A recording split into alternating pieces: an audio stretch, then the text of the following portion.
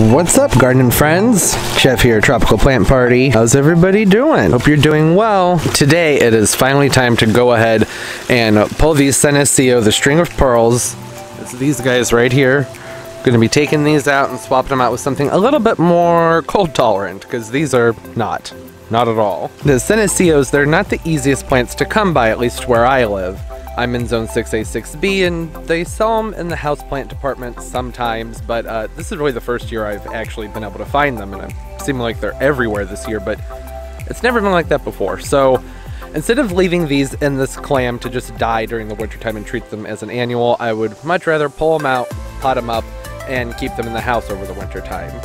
The lemon coral sedum, however, I think I'm going to leave. These are rated zone 7 and up, so 7 and warmer and I am in, I'm right on the cusp of 6A, 6B. Winters here pretty unpredictable, and since this is in a pot, it's going to be even more exposed to the elements, so I highly doubt they'll survive the winter, but I'm kind of okay with it if they don't. So I'm going to be swapping out the Senecios with pansies, the Cool Wave pansies. And I'll go ahead, I'll pull the Senecio out first and kind of see if it seems like it's still very lacking, because it would be nice to go ahead and have the pansies running all the way through with the cabbage kale and the grass behind it. Now, it seems like the Senecio has kind of taken off with its growth, so I don't know how easily it's going to pop out, but seeing as how it's a succulent, it's going to be shallow rooted, I think I'm probably going to be able to just lift it right out of the pot.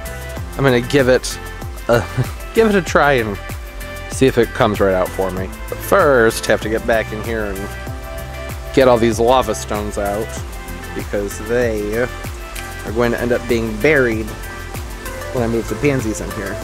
So I might as well pull them out for now. Put them back in when I'm done. Okay. And the Senecio, I'm not going to pull it from the plant because they are very delicate, though they're easy to repropagate from their cuttings. You know, I may end up losing a few pieces. That's okay. That's better than losing the entire thing. So, hey, look at that. Popped right out and left a nice little divot in there to stick the pansies in. So I'm going to go ahead and pull the rest of those out and get moving.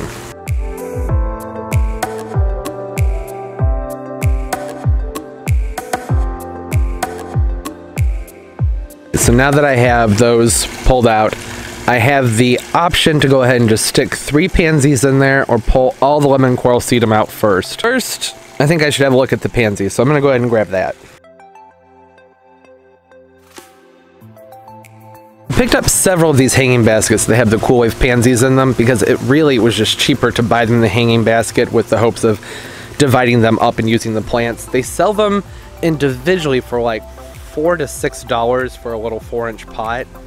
That doesn't make sense when I can get the hanging basket for $8.99 that hopefully has at least three plants in it that I can divide out of it. Come in a lot of different colors. The only thing I don't know is if these guys are as cold tolerant as just your regular pansy. I would think they would be, but maybe that is lost somewhere in whatever genetic stuff happened to make them trail and rebloom. So for this year, it's kind of an experiment. So the first thing I'm going to do here is I'm going to go ahead and find where this basket where the hanger meets the pot and usually they just unclip right out. It's not always that simple because they're kind of barbed, but I'll be able to get it out of there. So what I'm doing now is I'm just getting in here and I'm kind of sectioning them off. I'm sort of trying to find their natural growth direction and uh, basically I want to see uh, the individual plants.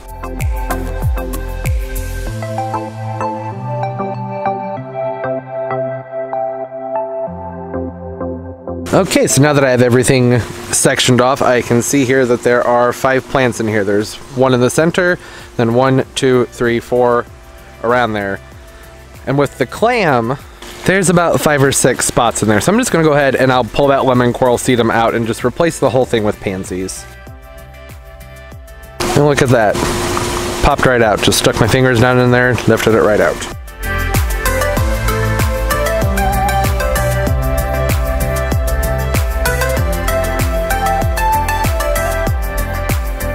now that I know that there's an abundance of the pansies, I'm gonna go ahead and I'm at least gonna go ahead and just pull the sedum out of the front.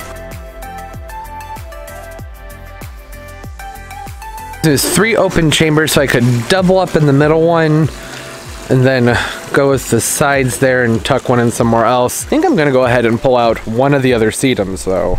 This is also really a good opportunity to get in here and go ahead and pull out the lower leaves from these kales and cabbages. You can see this one starting to take off, which means I need to make sure that when I put this back out, it gets more sun. And now I'm gonna go ahead and put the pansies back in. It's a little bit different than what I would normally do. Normally I would fill it first and then put the plant in and fill around it.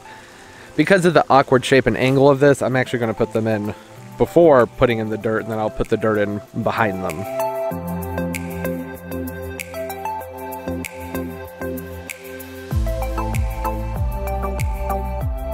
And then to fill this back in, I'm actually using my cactus mix, my cactus and succulent mix.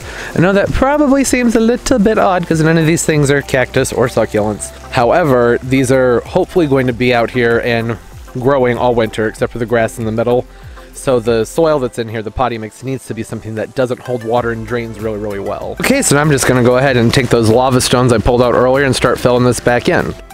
The reason I like putting the lava stone in here is because, well, it helps soak up some sun during the day and hold on to some heat and to sort of insulate things a little bit at nighttime. And it gives things a more finished look to have some gravel covering the surface. I'm being careful though to make sure that I'm not piling the lava stone anywhere around the crowns of the pansies. And I want to make sure, I want to make sure that the growing apex, the center of the plants, isn't buried by too much soil because that'll just rot out. All right, that's all done. I'm okay with it. It's definitely not as tidy as it looked with the Senecio, but that is all right. It's going to provide something that can be out here all winter long. And hopefully they'll do okay. I went ahead and I watered them back in very lightly. The soil there was already kind of moist from some rain that we've had. And uh, I added in a little bit of uh, the uh, Espoma Biotone starter. Yeah, I blended that in with the cactus mix that's in there. Not very much, just a little bit. The temperatures are fairly cool, and that's when the pansies are doing their best. So I'm really just going to kind of be keeping an eye on this for a while and seeing how they do because they were ripped apart. So I am even going to move them to part shade. I don't want them getting too much sun for the next couple weeks while they're reestablishing themselves. Man, does that look junky compared to when it had the succulents in it. And you might be wondering why I left the one sedum in there. I just kind of want to see how the lemon coral sedum does here in the winter time, see what its breaking point is for dying back. So I thought I'd go ahead and leave that one in there. As far as the Senecios go, I'm going to be repotting those and talking about those in a separate video. That's going to do it for today. Don't forget to like, subscribe, share, all that fun stuff. It really helps me a whole bunch. I really like talking to y'all too, so go ahead and comment down below. I'm also on Snapchat, Trop Plant Party. I'm also on Instagram, Tropical Plant Party, and uh, Twitter, Tropical Plant JC. All that stuff is on my main page on YouTube. So hit me up however you want. So fun talking to y'all. I hope everybody's doing well. And as always, keep on growing. Bye bye.